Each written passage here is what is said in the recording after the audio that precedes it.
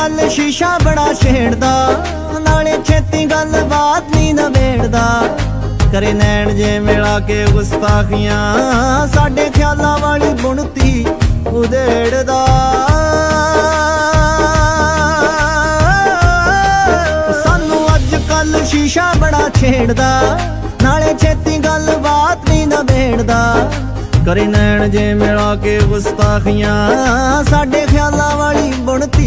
ਬੁਣਤੀ ਇਹ ਤਾਂ ਖਾਹਿਸ਼ਾਂ ਦੇ ਬੂਏ ਵੀ ਨਹੀਂ ਪੇੜਦਾ ਮੈਂ ਤਾਂ ਸ਼ੀਸ਼ੇ ਨੂੰ ਵੀ, ਮੈਂ ਤਾਂ ਸ਼ੀਸ਼ੇ ਨੂੰ ਵੀ, ਮੈਂ ਤਾਂ ਸ਼ੀਸ਼ੇ ਨੂੰ ਵੀ ਟੰਗ ਦਿੱਤਾ ਛਿੱਕੇ। ਦੱਸੋ ਜੀ ਹੁਣ ਕੀ ਲਿਖੀਏ? ਹਾਏ, ਹੋਏ ਮੈਂ ਤੇ ਸੱਜਣ ਇੱਕੋ ਮਿੱਕੇ। ਦੱਸੋ ਜੀ ਹੁਣ ਕੀ ਲਿਖੀਏ?